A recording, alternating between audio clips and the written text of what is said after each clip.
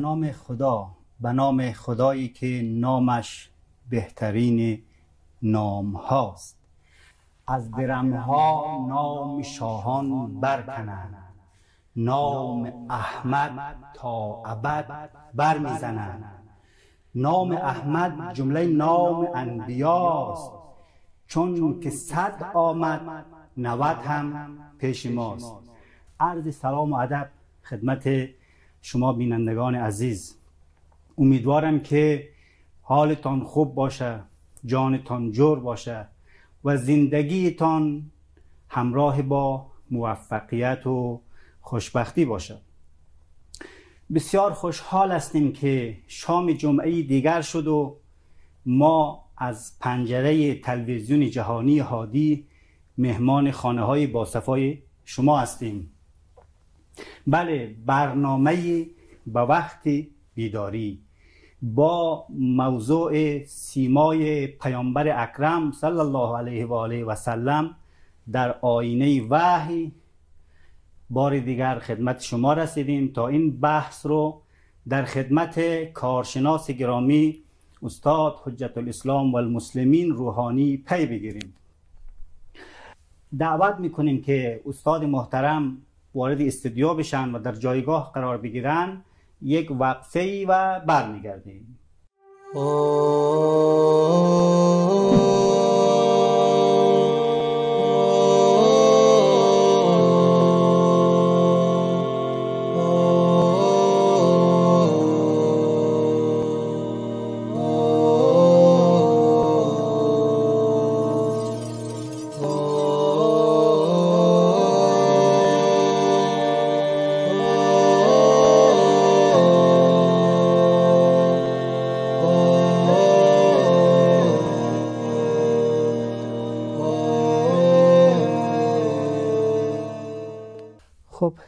استاد محترم سلام علیکم. بسیار بسیار به برنامه خودتون خوش آمدین. بفرمایید قبل از اینکه بحث شروع کنیم یک سلام علیکی با بینندگان گرامی تلویزیون بفرمایید تا در خدمت شما باشیم. بسم الله الرحمن الرحیم. بنده هم عرض سلام و ادب و احترام دارم. محضر حضرت عالی. و همچنین بینندگان محترم شبکه جهانی هادی. امید که انشاءالله همیشه در مراحل زندگی موفق سربلند و پیروز باشند انشاءالله. ممنون از دعای نیکتان در حق بینندگان گرامی ما. خب استاد محترم ما شام جمعه در برنامه به وقت بیداری برنامه ما و جانهای ما با نام و یاد و ذکر رسول گرامی اسلام حبیب خداوند متعال حضرت محمد مصطفی صلی الله علیه و آله و سلم زینت پیدا می‌کنه و واقعا من خودم این حس را دارم که هرچی از ذکر محبوب هست دیگه هرچی از پیامبر گفته شود درباره خصوصیات اخلاقی و حضرت درباره شخصیت و حضرت درباره مقامات و مقامات عرشی و جایگاه و حضرت در نزد خداوند هرچی گفته شود شنیدنش برای آدم شیرینتر هست و شنیدنی است خب این هفته شما از سفره قرآن و مائده الهی برای ما و بینندگان محترم ما چه تحفه آوردین درباره پیامبر بزرگوار اسلام؟ بسم الله الرحمن الرحیم. اگه توفیق باشه انشالله در این نوبت یکی از آیات سوره مبارکه توبه. تقریبا یک سوره متفاوتی است نسبت به برخی از جهات. بله. که ختم این سوره بسیار آیی زیبا دلکش در مورد پیغمبر اسلام داره. چند تا از ویژگی های شخصیتی حضرت رو در قبال جامعه داره در این آیه خدای متعال منعکس می‌کنه. انشالله اگر توفیق باشه این آیه رو در این نوبت خدمت بینندگان محترم به بحث خواهیم نشست. بسیار عالی. اگر امکانش هست که خود آیه رو قرائت کنید و اطر از این آیه به مشام ما و بینندگان محترم برسه. بله بسم الله الرحمن الرحیم. لقد جاءكم رسول من انفسكم عزیز علیه ما عنتم حریص علیکم بالمؤمنین رؤوف رحیم. خدای متعال در این آیه خب بعد از اینکه فراز و فرودهای متعددی ما در سوره مبارکه توبه مشاهده می‌کنیم یک جزر و مدهای تقریبا چشمگیری رو در این آیه مشاهده می‌کنیم با, با اون آغاز طوفانی بله. که براعتم بله. الله و رسول از همون آغاز بگیریم و بعد مقداری جلوتر می آییم یکی از ویژگی های ممتاز امیر المؤمنین علی علیه السلام در سوره مبارکه توبه دیده میشه. چون سوره مبارکه توبه طبق بعض از آیات روایات یک سوره که خود امیر المؤمنین آمدن او رو در جمع مردم در کنار کردن. کعبه خوندن. همه آیات قرآن ویژگی این بود که پیغمبر وقتی که بر اونها نازل می‌شد لتقرعه علی الناس علی مکسن خود پیغمبر میخوندن. اما در سوره مبارکه براعت یک شعن نزولی داره. پیغمبر چون در مدینه تعبیر سوره براعت رو به کار بردن ممکنه بعضی از بیننده هایی که آشناییشون با قرآن کمتر هست گیج شون دو نام داره دیگه این سوره. بله. یکی سوره توبه هست و یکی هم سوره براعت بله. و هر حال پیغمبر چون در مدینه بودن و این آیات قرار شده بود که در مکه خوانده بشه. پیغمبر یکی از اصحاب رو خواستن آیات رو به او سپردن که اینها رو تو برو در جمع کفار قریش در کنار کعبه بخوان. خب این شخص آیات رو گرفت و رفت وحی بر پیغمبر نازل شد که یا رسول الله این آیات رو باید شما بخوانی او رجل منکه ببخشید من وسط حرف شما چون این نکته هم ممکنه مبهم باشه برای بعضی از بیننده این سوره سوره براعت در چه سال از هجرت نازل شد؟ دیگه دست اواخر ظاهرا اواخر به اواخر عمر پیامبر بوده دیگه. سالهای آخر سالهای پایانی رسالت پیغمبر اسلام. درست. بعد از این که انا فتحنا لك فتحا مبینا. بعد از فتح مکه بله بعد از فتح مکه. بله. این آیات بر پیغمبر نازل شده بود. خدمت شما عرض کنیم گفته شد که یا رسول الله یا باید خود شما بخوانی. او رجل منکه یا یک مردی در بعد از اینکه پیامبر یک از اصحاب رو معمور کرد بله. که این سوره رو بره مثلا در کنار خانه کعبه بله. مکه بخونه بله. این معمور این ابلاغ جدیدی آمد. بله. خب امیر المؤمنین رو خواستن این مأموریت رو به حضرت سپردن که علی جان آیات رو از فلان شخص بگیر و تو برو در کنار کعبه این آیات رو بخون. جالب اینه که در مکه خب خانه رو شما پیدا نمی کنی مگر اینکه پدر این خانه برادر این خانه یا کسان نزدیک به این خانه با تیغ امیر المؤمنین به دستور خدا در جنگ های بدر و احزاب و هنین اینها کشته شده بودند. و امیر المؤمنین بدخواه فراوان داره در مکه. اما همچی که گفتن شما باید بری؟ به پیغمبر فرمودن حکمان چطور فرمایی؟ رعیان چطور اندیشی؟ آیاتو گرفتند و رفتن. به هر حال قسمتی از جنگ سخت تبوک که جنگ که شمشیر کشی باشه نبود. بله. اما لشکر کشی بود. اونم در اوج گرمای تابستان. و پیغمبر اسلام با اون همه عظمت حاضر شدن که این مسافت رو بپیماین اما برخی از اصحاب پیغمبر تخلف کردند.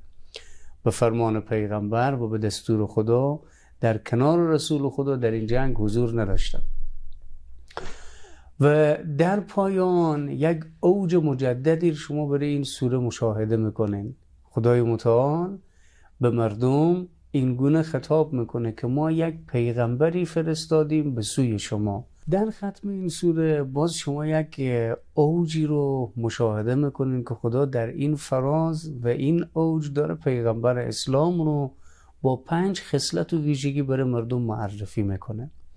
لقد جاءکم رسول من انفسکم. هم لام آمده هم قد آمده بر سر فعل مضارع بر سر فعل ماضی که همه اینها حاکی از تأکید داشتن و تأکید کردن جمله است. لقد جاءکم رسول. اولین ویژگی پیغمبر که خب در مباحث قبل هم ما یک مقداری به اشارت کردیم اینه که پیغمبر رسوله فرستاده شده است. کاری که داره انجام بده ابلاغ رسالات هست. وظیفه است که خدا به دوش او سپرده. عملی است که خدا از او مطالبه کرده. اینطور نیست که سر خود خواسته باشه این کارها رو انجام بده. مفسرین میفرمان اینجا گفته رسولون به تعبیری یک تنوینی داره نه؟ بله. رسولون. بله بله. خب این رسولون تنوینی رو میگن تنوین نکره است. اما دال بر عظمت شخصیت بالای پیغمبر رو داره مطرح می‌کنه. در قرآن می‌خونیم که در ماجرای مؤمن آل فرعون خدا میگه و جاء رجل من اقصى المدینه یسعى و جاء من اقصى المدینه رجل رجلون این یک رجلون مردی یک مرد یعنی یک مرد کامل یک بله. مردی که در مردانگی کامله که و بعدش می‌خواد توصیف کنه ایره در بله. واقع. همین در این آیه هم همین قسم است دیگه بله. رسولون کی بله. این قسم است و این ویژگی بله. ها رو داره اینجا که میگه و جاء من اقصى المدینه رجلون یعنی یک مرد کامل یک مردی که خوبان بیشمار در این شهر دیدم. بله. اما تو نازنین به خدا چیز دیگری یعنی در همین ویژگی کامله. چیزی به عنوان نقص فعلا در این زمینه در او دیده نمیشه. درست. اینجا که میگه رسولون یعنی یک پیغمبری که شخصیت بسیار بسیار بالاست.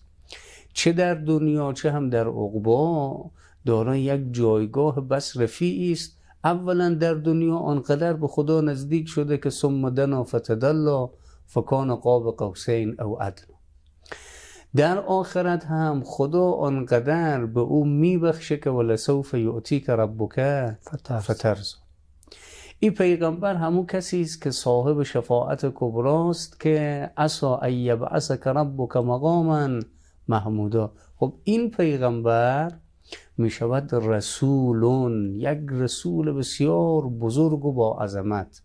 یک رسولی که پیغمبر اسلام خدای متعال همه رقم داره از او حمایت و در تمام مراحل زندگی داره به او عنایت می‌کنه. بله. این اولین ویژگی پیغمبر است که رسولی است. اون هم در این حد و در این قامت. ویژگی دوم میگه من انفسکم. از خود شماست. نکنین اینجا خیلی راحت خدا می‌تونست بگه که لقد جاءکم رسول منکم. اما گفت من انفسکم. انفسکم. مفسرین می‌خواهم به خاطر که بگن یک مقدار عاطفه ها رو درگیر کنه. اگر می‌گفت از شماست تمام. اما میگه پیغمبری که پاره تن شماست وجود شماست هستی شماست از شماست. این این نکته می‌تونه به ذهن تداعی کنه. بله. در برخی از روایات ما داریم به این شکل این آیه قرآن رو خوندن برخی از قراء سبع یا عشره که لقد جاءکم رسول من انفسکم. انفسکم. انفسکم. چه فرقی با انفس داره؟ انفس یعنی از خود شماست. بله جمع نفس. بله انفس یعنی نفیسترین پیغمبرانه. م. پیغمبران هم در قرآن می‌خونیم که در یک حد و در یک مستوا نیستند بله. قرآن میگه پیغمبران همه با هم برابرند چرا؟ چون هم از پیش خدا آمدند بله. لذا میگه لا نفرق بین احد من رسوله بین پیغمبران که تفاوتی دیده نمیشه. دیگه در هدف و بله. در اصل رسالت اینا فرقی بله. نمی‌کردن که اگه همه پیام تعبیر یکی از بزرگان است که اگه همه پیامبران رو خداوند در یک عصر جمع کنه اینا هیچ نزاع و اختلافی با هم بله. نداره. برخلاف قدرتمندای این دنیا که میگه که در دو تا ملک در گلیمی نگنجه. نگنج دو تا ملک در ملکی نگنجد و حالا اینکه چندین درویش در یک گلیمی بخسبد بله. و دو تا ملک در یک اقلیم نگنجد. بله. به حال اینجا که میگه من انفس من انفسکم پیغمبران بین این تفاوت هست. در این زمینه که همه از جانب خدا فرستاده شدن بله بین آدم تا خاتم هیچ تفاوتی دیده نمیشه. آدم هم مرسل من عند الله هست خاتم هم از جانب خدا فرستاده شده. بله. اما باز در قرآن می‌خونیم که تلک الرسول فضلنا بعضهم علی بعض. برخی بر برخی برتری دادیم. قطعا مقامات پیغمبر اسلام برتر بالاتر نسبت به سایر پیغمبران است که به حسن و خلق و وفا کس به یار ما نرسد. بله. نه؟ بله. این جایگاه پیغمبره. همون چیزی که بنده در آغاز برنامه عرض کردم که نام احمد جمله نام انبیاست چون, چون که صد آمد آید 90 90 هم هم پیش ماست. پیش پیغمبر ماست. او اوجه. بله پیغمبر او غایت و نهایته قطعاً. پیغمبر کسی است که سایر پیغمبران همه و همه در سایه وجودی پیغمبر اسلام عزت عظمت پیدا خواهند کرد البته اگر این قرائت دوم رو هم که قرائت مشهور هم انفس هست اگر انفس هم باشه بر فرض اگر مثلا بعضیا بگه که این قرائت غیر معروف هست خب بگیم بله. خب اشکال نداره ما دلایلی زیاد بله. دیگه بر فضیلت و برتری پیامبر بله. نازنین اسلام بر دیگر بله. انبیا. وقتی که میگه من انفسکم یعنی نفیسترین پیغمبران خب پیغمبران نخبه های بشر بودن. اینا مصطفا بودن مجتبا بودن مجتبا یعنی دستچین شده. مصطفی یعنی یک دست برتر نسبت به دیگران باز در بین این همه پیغمبرانی که دستچین شدن پیغمبر اسلام از همه بهتره از همه بالاتره. سرور کائنات. بله. مفخر موجودات سرور کائنات پیغمبر اسلام هستند لذا فرمود لقد جاءکم رسول من انفسکم. حالا چه انفس باشه چه انفس باشه؟ خب. مهم اینه که پیغمبر اسلام دارای یک وصف و ویژگی بسیار خاص و ممتازه و او هم اینه که مردمیه. خب همین تعبیر بگیم بر فرض بگیم انفسکم یعنی همون بله. قرائت مشهور و روایت مشهوری در روایات قرآن که هست در قرائت قرآن که هست. خب یعنی چی از انفسکم؟ یعنی از قوم شما یا که اشاره به یک نکته دیگه ای داره؟ بله. ای که میگه من انفسکم یعنی از بین خود شماست. مردمی هست یعنی از اون جامعه ای که بله. مبعوث شده از بین همه خودی خب قطعا نها کنین هر قومی که پیغمبر میایه از بین خود همون قوم هست قرار نیست که خدا پیغمبری بره یک جمع و جماعتی بفرسته بله. با زبان اونها با گویش اونها آشنایی نداشته باشه نه وقتی که میگه ما پیغمبری از بین شما انتخاب کردیم هو الذی بعث فی الامیین رسولا منهم. حتی در سایر آیات هم داریم. میگه از بین خود شما کسی که شما رو می‌شناسه عقبه تاریخی شما رو آشناست دردهای مزمن اجتماعی شما رو علم داره نقاط ضعف شما نقاط کاستی که در شخصیت های شماست در مباحث اجتماعی شماست همه اینها رو پیغمبر می‌فهمه. اینم که میگه من انفسکم یعنی مردمی هست اگر خواسته باشه انسان این فراز از آیه رو خوب بفهماند و خوب بله. بفهمه حتما حتما باید مدد بگیره و کمک بطلبه از فراز و فقره از کلام امیر المؤمنین علی علیه السلام که وقتی داره پیغمبر اسلام رو می ستاید تعریف می‌کنه میگه پیغمبر کسی بود که طبیب دوارون به طبه. پیغمبر این رقم نبود که بنشین مردم بیاین پیشی او بلکه خود پیغمبر می‌رفت طرف مردم اونها رو هدایت می‌کرد. این رقم نبود که پیغمبر یک دفتر و مطبی داشته باشه و هر کس که به پیغمبر کار داشته باشه بیای سراغ پیغمبر. و هدایت رو کسب کنه. بلکه پیغمبر برای هدایت کردن مردم برای جذب مردم و برای که اونها رو با خدا آشنا کنه سر از پا نمیشناخت. لذا پیغمبر دنبال اونها می‌رفت. امیر المؤمنین سلام الله علیه میگن پیغمبر اسلام یک طبیب دورگرد بود. مطب نداشت. که خودی دنبال مریضا میگشت. بله. این رقم نبود که در یک شفاخانه پیغمبر نشسته باشه و بعد منتظر بوده باشه که کدوم مریضی بیایه که در او یک دردی باشد و پیغمبر درد او رو مداوا کنه. نه خود پیغمبر به دنبال مریض ها میگشت.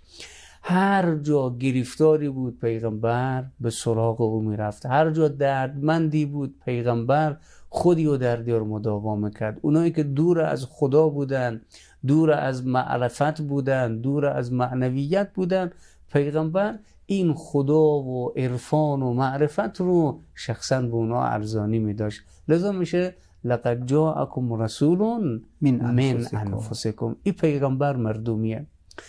و برای یک شخصی که بخواهد در بستر جامعه منشأ خدمات بوده باشه مصدر خدمت بوده باشه برای مردم این شرط بسیار مهم و اساسیه که از مردم باشه. از مردم باشه و برای مردم باشه و در مردم باشه. خودش به اصطلاح معروف تافته جدا بافته از دیگران فرض. نکنه و در اتاق شیشه ای نشینه. بله. و این آیه همین نکته که من انفسیکم هست چقدر می‌تونه در ساموز باشه؟ برای هر انسان و مخصوصا هر مسلمان مؤمنی که می‌خواد مثلا دیگرها را کار پیامبرانه بکنه و مثلا عهدهدار تبلیغ دین باشه دیگرها را به ارزش های اخلاقی و به های دینی فرا بخوانه. یا حتی مثلا کسایی که می‌خواد کارهای گره از دیگه بله. مشکلات مردم برداره یا حتی حاکما و او کسایی که زمام امور و قدرت در دست اونا هست و اینا هم می‌تونه از این آیت درس بگیره بله. و از پیامبر سرمشق بگیره بله وقتی که پیغمبر الگو شد بله. اصفه شد که در نوبت قبل توفیق بود پیرامونی و صحبت شد این عرصه ها عرصه های الگوگیری از پیغمبره وقتی پیغمبر ما مردمی بود دیگه ما نباید خود رو جدای از مردم بدانیم و بعد بگیم این منم تاووس علیین شده بلکه باید با تأثیه به خود پیغمبر ما کار پیغمبری بکنیم یک معلم یک استادی که در پانتون داره کار می‌کنه یک کسی که داره کار ارشاد و هدایت جامعه رو در بر عهده گرفته بله. تا او سطح کلان و فرمایید کارهای سیاسی که به درد دین و دنیای مردم می‌گیره می‌خوره. همه رو شما مد نظر بگیرید که باید همین مردمی بودن یکی از شاخصه های مهم شخصیتی اونها بوده باشه. مثل سایر پیغمبران. هر پیغمبری همین رقم بود. مردمی بودن. لذا فرمود لقد جاءکم رسول من انفسکم پیغمبری که مردمی است از خود شماست. ادهی تصور می‌کردن که پیغمبران رو باید خدای متعال از جنس ملک بفرسته. خب ملک فرشته عشق نداند که چیست؟ دردی که ما دارم که ملک نمی‌فهمه. مشکلاتی که ما دارم که فرشته نمی‌تونه تشخیص بده. ما انسان ها یک ویژگی هایی داریم که ملائک ندارند. خب وقتی که نقطه مشترک بین ما و او نبوده باشه او چی رقم بیای درد ما تشخیص بده؟ که بله. بعد بخواهد درمان کنه. در همون ابتدا در الفبای تشخیص گیر می‌کنه که بعد بخواهد مداوا کنه. پس همچه یک مشکلی بوده که خداوند اینجا با این تعبیر وارد شده و پیامبر خودش را به مردم معرفی کرده یعنی بعضی ها ممکنه بهانه گیری می‌کردن یا که ممکنه واقعا عقیده داشتن که خب این که آدم انسان مثل ما بله. نیازی به خوراک داره نیازی به پوشاک داره نیازی به خواب داره و مثل بله. ما یک انسانیه که بین ما زندگی می‌کنه این چه قسمی پیامبر و لابد پس چون این سوالی و توهمی بله. بوده که خداوند همون رسوبات تهنشین شده در ذهن کفار قریش بود. بله. می‌گفتن مال حاضر رسول ای چی پیغمبریه؟ یعکل و تام اخی هم داره نون می‌خوره. و یمشی فی الاسواق به تا بازار داره راه میره. یعنی که انه تصور می‌کردن پیغمبر نباید خور خاک چی میگن؟ خوراک دیشته باشه. پیغمبر نباید خواب دیشته باشه. پیغمبر نباید در بین مردم بوده باشه. یک خط بطلان کلانی از جانب خدا بر این خط تفکر داره کشیده میشه. لقد جاءکم رسول من انفسکم. پیغمبری که از خود شماست. شما رو می‌شناسه. در وقتی هم که پیامبر از دنیا رفت یک ایده همین تصور رو داشتن که پیامبر پس چطور مگه از دنیا بره چطور بمیره که اون آیه دیگه آمد که و ما محمد الا رسول. بله. قد خلت من قبل رسول.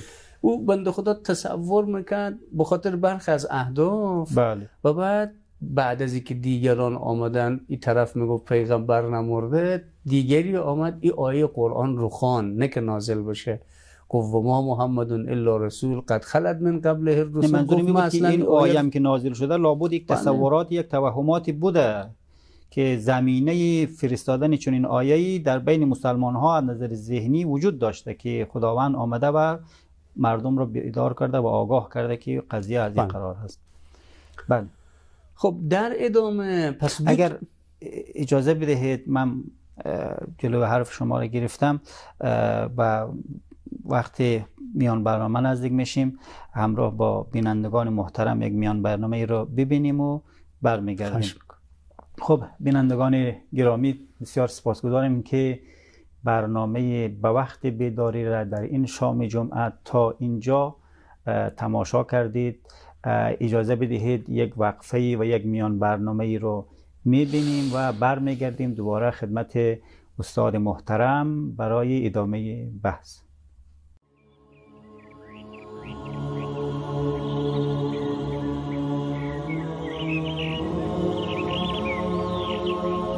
دوباره همه از تو می‌گویند و میشنوم.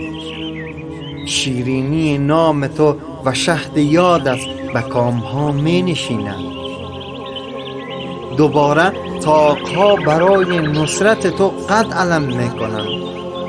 دوباره همه دیوارهای شهر چراقانی می شوند اما کاش گفتن و شنودن از تو سهم همه ثانیه باشد و یادآوریت همه دقایق را پر کند و خدمت به تو دلیل همه حرکت ها شود. کاش سینه هامان صندوق صدقه شود و قلبمان سکه نظر سلامت کاش دردمان همیشه با توسل به تو آرام گیرد. و دستمان جز به دعا برای تو به آسمان نرود.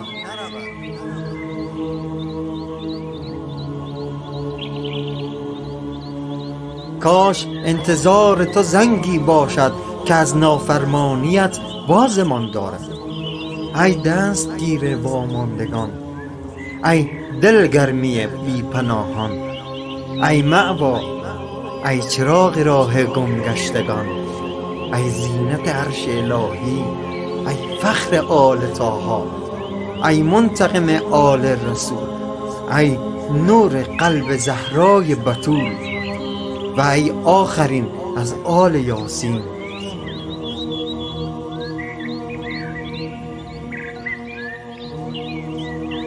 برخیز و صفحه دین را از زنگار کوته اندیشی جاهلان و نیرنگ دشمنان پاک کن. و پایه ساز شده دین را استوار و پابرجا ساز.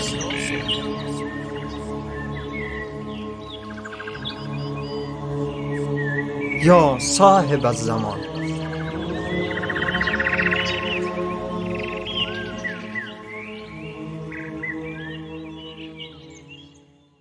بینندگان محترم دوباره خدمت شما عزیزان سلام عرض می‌کنم. شما فارسی زبان هایی که برنامه بیننده برنامه های تلویزیون جهانی هستید. مخصوصا برنامه با وقتی بیداری و این برنامه امشب با موضوع سیمای پیامبر اکرم صلی الله علیه و آله و سلم در آینه و پل ارتباطی ما با شما عزیزان شماره واتسابی مثبت 964 780 255 چهل سیزده هست شما می‌تونید از طریق این شماره از طریق واتساپ تلگرام یا از طریق درگاه های دیگه فیسبوک و یوتیوب و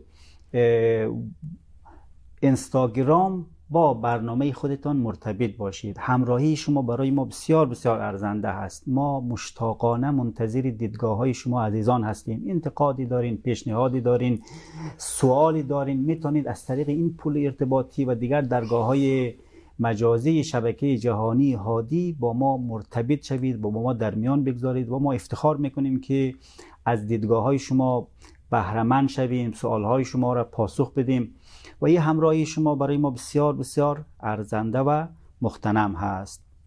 خب اگر اجازه بدهید ادامه بحث را خدمت استاد محترم درباره یکی از آیات سوره توبه یا براعت بحث می‌کنیم. در واقع ما سفره از نشستیم روی سفره و دسترخان قرآن و ماعده الهی و امروز شما تحفه آوردین که اگر اشتباه نکنم یک آیه مانده به آخر سوره توبه هست که میآید بله. با لحن بسیار خاص و لحن ترغیب کننده پیامبرش را برای ما معرفی می‌کنه. شما تا اینجا فرمودین که خداوند میگه که ما پیامبری برایش ما فرستادیم که از خودتانه.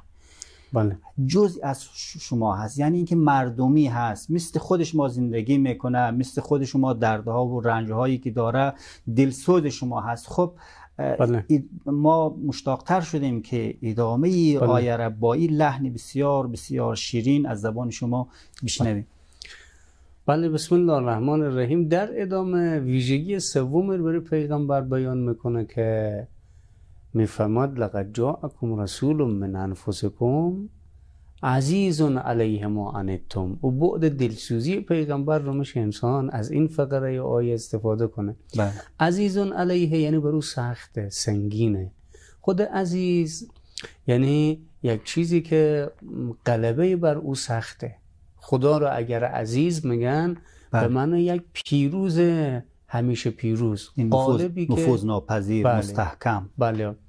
به زمینی که آنقدر سفته که شما بل می‌زنین کلنگ می‌زنین نفوذ در ایجاد نمیشه عرب میگه ارز و عزاز. یعنی یک زمین بسیار سفت. نفوذ ناپذیر سخت و. سخت زمخت. بله. اگر عزیز با علا بیایه ارتباط داشته باشه و استعمال باشه غالبا میگم به معنای سقالته به معنای سنگینیه. سخت بودنه. عزیز علیه یعنی برو خیلی سخته خیلی برو سنگینه. برو. دشوار است. بله چی؟ ما انتم. او چیزهایی که شما رو آزار مده. یعنی نها پیغمبر بعد از اینکه دردی رو در جامعه و در مردم و در گروه هدف و مخاطبان اولیه خو احساس می‌کنه در قبال این درد بی تفاوت نیه. او هم دردمند میشه. اگر گرفتاری در بین مردم مشاهده می‌کنه اولا به درد اونها خودی هم دردمند میشه. و وقتی که درد در انسان ایجاد شد در صدد مداوای این درد انسان برمی آید یعنی دلسوز بودن. یکی از مهمترین ویژگی های پیغمبران الهی همی دلسوزیه. گاه شما با همین تعبیر عزیزون علیهیر می‌تونیم در قرآن استفاده کنیم. گاه هم با معنا با کلیدواژه ناصح امین ناصح هم یعنی اون کسی که داره انسان رو نصیحت می‌کنه مشفقانه حرف می‌زنه. اما این اشفاق و توأم با دلسوزی برای انسان هم هست. در قرآن می‌خونه که پیغمبران میگن انا لکم ناصح امین می که پیغمبر به سوی شما هستم خیر شما رو می‌خواهم. دلسوزم با حال شما. اینجا اشاره به همین مسئله می‌کنه. پیغمبر دلسوز برای مردم. باید انسان این دلسوزی رو از پیغمبر یاد بگیره. پیغمبر وقتی می‌بینه مردم دارن مثلا از خدا دور میشن دل پیغمبر به حال این مردم میسوزه. و ای که شما می‌بینید پیغمبر هی داره هرس می‌زنه شتاب داره به سوی هدایتگری این هرس پیغمبرم به خاطر همین دلسوز بودن پیغمبره.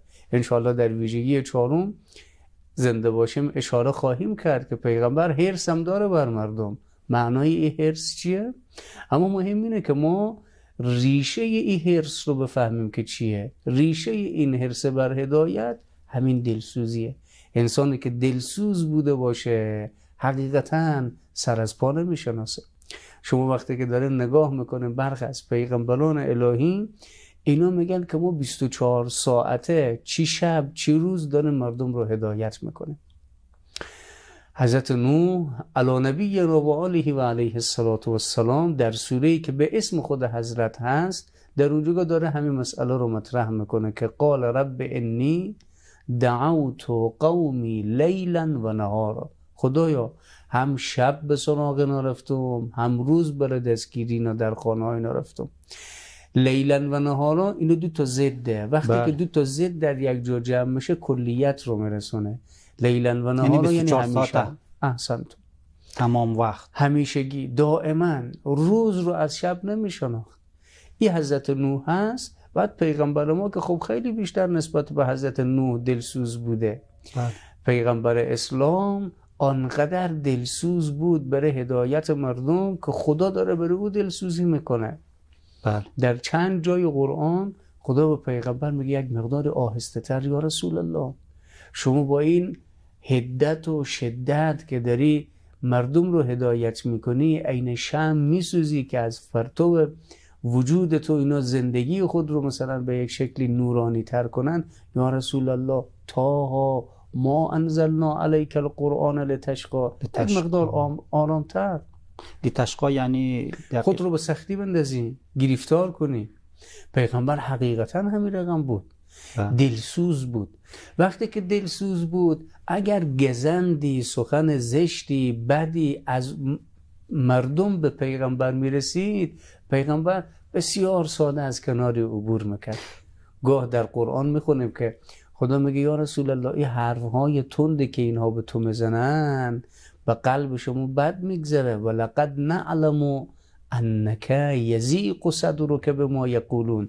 دل شما گرفته میشه خود حرفای اینها. این گپایی که من به شما می‌زنن قلب رعوف شما رو جریه دار می‌کنه. اما پیغمبر بسیار راحت از کنار عبور می‌کرد. و پیامبر از این رنج هایی که از بعضی از امت خودش می‌دید هیچ وقت به درگاه خداوند شکوه نکرد بله. شکوه نکرد چرا؟ به خاطر همین که دلسوز بود. دلسوزی دلسوز من وقتی که پدر خانواده هستم اولادم بچه دخترم مثلا یک حرف می‌زنه یک کار می‌کنه دیگه تون انسان جبهگیری نمی‌کنه. چرا؟ چون پدر دلسوزی داره نصیحت خواهی داره بر اینا. پیغمبرم پدر مهربان و امت بود. مگه خود اینا نگفتن به امیر المؤمنین که یا علی انا و انت ابوا هذه الامه. موتو دو پدر این امت هستیم. لازمه پدر بودن این دلسوزی هم هست. لذا گاه بود پیغمبر برای هدایت مردم سفر می‌رفت. از مدینه از یسرب می‌رفتن طرف طائف در جنوب مدینه یا در شمال مدینه. بعد در یکی از همین سفرها که پیغمبر به طائف رفته بودن خب مردم رو دعوت به خدا پرستی می‌کرد یگانه پرستی توحید. نه تنها حرف پیغمبر رو قبول نکردن که ارازل و اوباش رو جمع کردن سنگ به دست سپردن گفتن این کسی که ادعای پیغمبری می‌کنه با سنگ از شهر بیرون کنه. این اتفاق در وقتی بود که پیامبر در مکه تشریف داشتن یا در, در مدینه؟ مدینه بودن. درست. بعد از هجرت بوده. بعد از هجرت به مدینه پیغمبر یک سفری مثلا رفتن طرف طائف. بله. برای دعوت اونها به اسلام. درست. و یه عکس عمل بسیار تند و خشن و زشت از جانب اونها در مقابل پیغمبر رقم خورد. نقل می‌کنن پیغمبر از دست به یک شکلی گریختن فرار کردن. زیر سایه یک درخت خون از دست و پای مبارک حضرت جریان دیش. نفرین نکردن. نگفتن خدایا آخه من رفتم اینا رو هدایت کنم. اینا رو از صفحه روزگار وردار. اصلا اینطور نبود. بلکه این زمان هم پیغمبر گفت که اللهم مهد قومی انهم لا یعلمون خدایا اینا نفهمیدن اینا توجه ندارن که من به عنوان پیغمبری که رحمت رو من به اونها برسونم در خانه اونها آمدم. هر زمان می‌گفت با سوز درون اهد قومی انهم لا یعلمون این پیغمبره. چقدر دلسوزه بسیار. حالا شما نها کنین این پیغمبر دلسوز خب پیغمبر شاهد بر عمل کرده امته بله. اگر زندگی های امروز جهان اسلام و مسلمان ها رو ببینه چقدر ای بر پیغمبر سخته چقدر بر قلب نازنین و. رعوف پیغمبر این همه گرفتاری ها و مشکلاتی که در جهان اسلام و در بین مسلمان ها هست سخت میگذره لذا ویژگی. سومی که در پیغمبر خدای متعال در این آیه داره معرفی می‌کنه میگه عزیزون علیه ما انتم او چیزایی که شما رو آزار میده مثل شرک مثل بتپرستی مثل که دخترکان و خور شما بیایم زنده زنده به دل قبل بسپارین. بله. مثل که فرزندان پسر خور به خاطر که شکم نرسیر نکنین باز جان اونها رو بیایم بستانین. از اینکه روابط انسانی در تیره ترین حالت ها بین شما ایجاد بشه خب اینو دردهایی است که پیغمبر در شما می‌بینه و دل نازنین پیغمبر مکدر میشه به حال شما دل میسوزانه البته که بهترین تدبیر برای برطرف کردن این مشکلات رو هم پیغمبر سنجید و توانست همه این آفات و آسیب ها رو تبدیل به یک فرصت کنه. لذا میگه سومین ویژگی پیغمبر اینه که عزیزون علیه ما انتم. ما انیتم تعبیر ما انیتم هم یک شمولیتی داره یک اطلاقی هست در اینجا. یعنی هر آنچه که شما را آزار میده و باعث رنجش شما و سبب اذیت شما هسته همی پیامبر هم آزار میده. بله. استاد گرامی من هر وقت که این آیه را قرائت می‌کنم توفیقی میشه که قرآن ورق می‌زنم و به این آیه می‌رسم. بسیار برای خود ما این متاثر میشم. شما اشاره کردید که پیامبر خب او در زندگیش بوده. خب ما که معتقدیم پیامبر شاهد بر این عالم هست و او قطب عالم امکان هست. الان هم شاهد وضعیت اسفبار امت خودش هست. من یک وقتی که می‌بینم مشکلاتی که ما مسلمان ها سر دچارش هستیم چی کشور خود ما افغانستان که متاسفانه ما در کره از مشکلات داریم دست و پنجه می‌زنیم و بله. چی در جاهای دیگه از جامعه اسلامی بالاخره این جامعه اسلامی رو ما اگر یک پیکر حساب کنیم زخم های عمیقی در وجود این جامعه هست و همین زخم ها چقدر این پیامبر رحمت و این پیامبر دلسوز و این پیامبر مهربان رو چقدر بله. رنج میته و اذیت می‌کنه طبق این آیه قرآن. بله حقیقتا همین رقم هست. در ویژگی چهارم می‌فهمد حریصون علیکم. پیغمبر حرس بر شما دارد. شاید به ذهن ما بیاد که حرس یک معنای منفی داره. بله. خیلی ذهن ما با شنیدن واژه حرس بیشتر ما حریص. شنیدیم حریص بله. یعنی بش... بله. معنی منفی بله. حریص در ذهن یعنی ما بار هست منفی داره و حال که این واژه ای رقم نیست مثل سایر واژه هایی که در قرآن آمده مثلا مکر کیدی اینها به خود هیله به خود آمده اسناد داده شده بله. و معنای منفی بودن نیه اینجا که میگه حریصون علیکم پیغمبر حرس بر شما داره ببینید که متعلق این حرس چیه او چیزی که حرس به او تعلق گرفته چیه؟ آیه عام و مطلقه. همین رقم که شما در فقره قبل فرمودین ما انتم عمومیت داره حریصون علیکم چیزی ذکر نشده. بله. و میگن که حذف المتعلقه تدل علی العموم. وقتی که متعلق یک چیزی حذف میشه دلالت بر عام بودن و شمول فراوان او داره. خب پیغمبر همین رقم حرس داره. منتها حرس پر پیغ... حرس پیغمبر بر امت رو در قرآن در دو جا آمده معرفی کرده. گاه میگه حرس بر هدایت ان تحرس علی هداهم. نه؟ بله. حرس بر هدایت کردن. حقیقتا همین رقم بود. پیغمبر سر از پا نمی شناخت که یک ابو جهلی یک ابو لهبی رو تبدیل به یک ابو ذر کنه.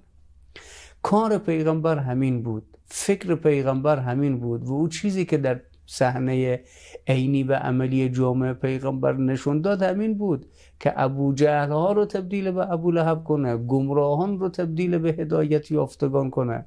کسانی که در وادی زلالت بودن دست اینا رو بگیره و در مسند هدایتگری اونها رو بنشانه. مگر نه خ- اداره خوبان و راهنمایی خوبان که هنری نیست. بله. هنر پیامبر این بود که از کسای سلمان و ابوذر و اصحاب بسیار بسیار بزرگی بله. ساختن که اینها قبل از اه، نفس پیامبر به اینها برسه خیلی متفاوت بودن. حقیقتا همین رقمه.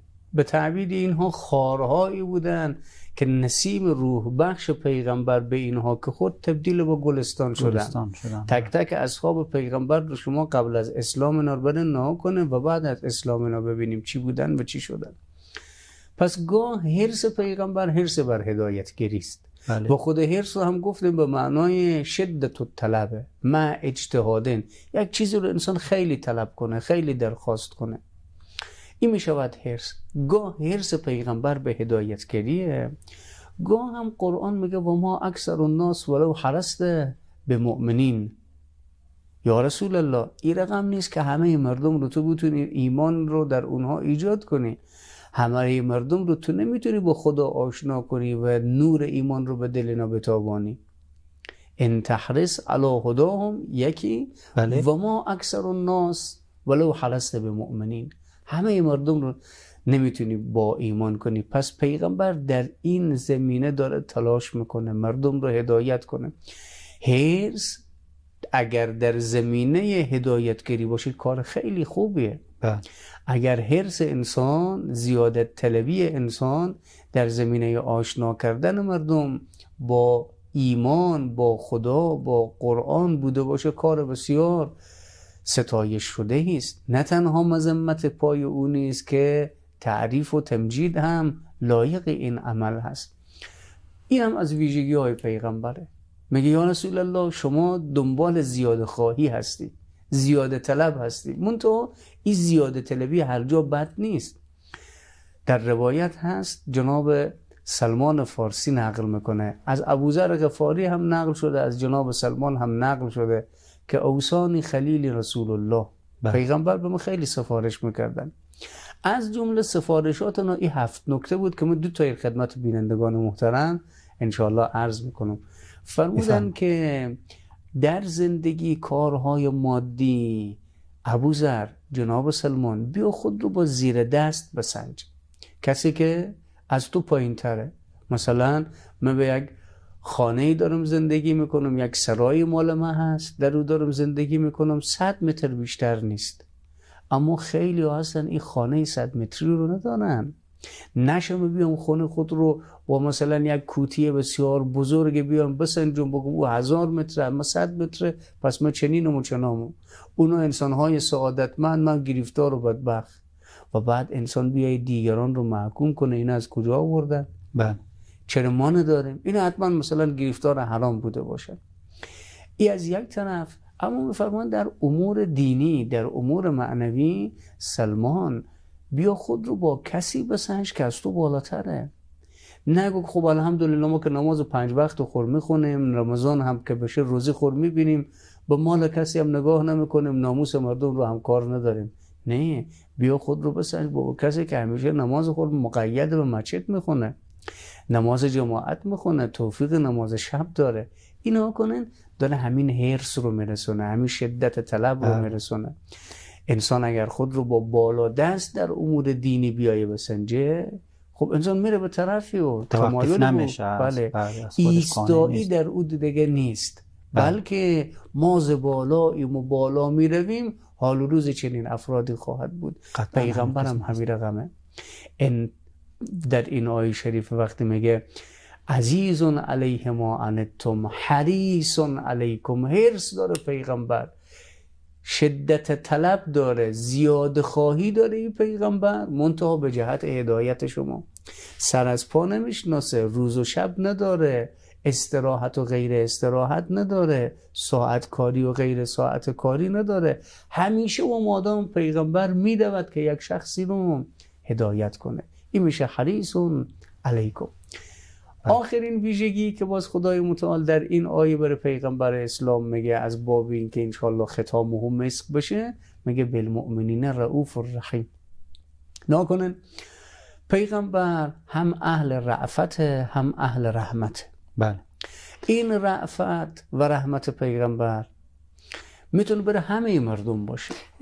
دو دقیقه, دو دقیقه وقت داریم اگر بله, بله انشالله جمع بله. رحمت پیغمبر انا ارسلنا که رحمت للعالمین برای انسان نه برای تمام موجودات بله. برای تمام موجودات نگیم برای تمام عوالم هستی پیغمبر عامل رحمته بله. اما اینجا چرا میگه بالمؤمنین رؤوف الرحیم به خاطر اینکه اینها می‌تونن سهم بیشتری از رحمت پیغمبر داشته باشن زمینه دریافت این رحمت در اینها بله. فراهم تر هست بیشتر از دیگران می‌تونن برخوردار باشن به خاطر قابلیت هایی که در خود هست رعفت می‌تونه اشاره باشد به این که رحمت باشد در کنار زحمت نباشد. چون گاه ما به یک شخص رحمت دانیم اما رحمتی که در کنار زحمت هم هست. درست. نه؟ اما اگر رحمت بود زحمت نداشت اسم میشه بالمؤمنین رؤوف الرحیم.